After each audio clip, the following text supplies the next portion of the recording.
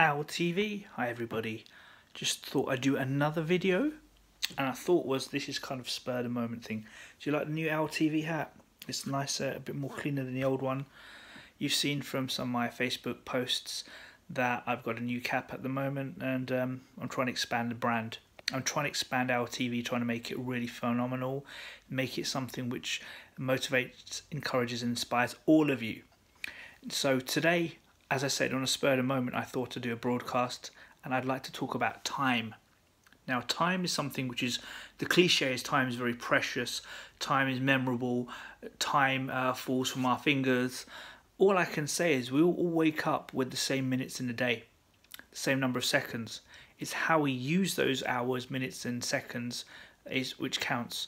A lot of people can find that they're actually working and they're sleeping, they're eating, they've got a lot of spare time, a lot of dead time as well. Spare time is, you know, when you come home from work, you're vegging out in front of the television, you're um, just wasting time playing games on your phone, you're, I don't know, just chatting with people. Sometimes it's beneficial, sometimes it's therapeutic. I'm not going to deny that. But at the same time, there are many times when, for example, these um, the time can be used very more constructively.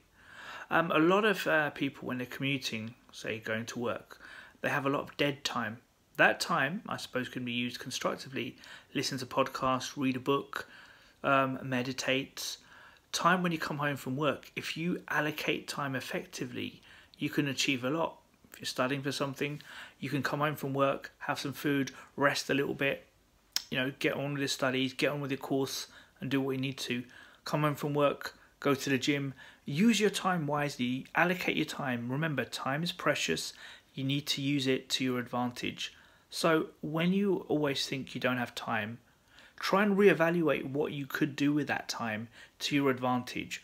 Plan your day, find out how many hours you have in a day that you are doing nothing or you are allocating to certain things. Obviously, the main things are sleep, work, other family commitments, um, seeing friends, etc.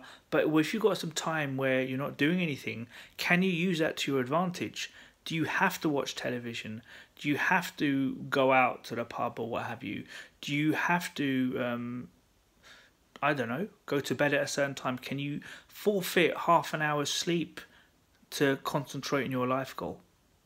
Just this is something which is um like food for thought.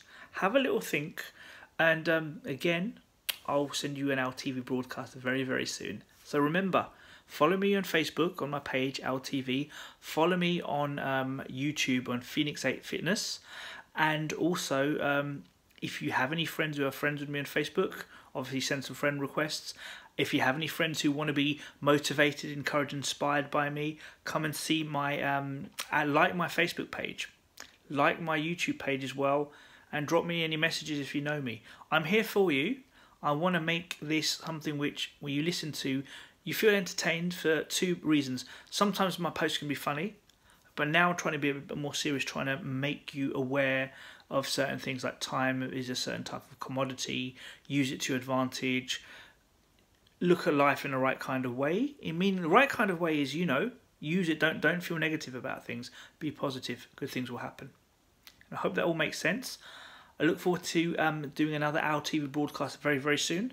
You take care. Enjoy the rest of your day. Bye bye.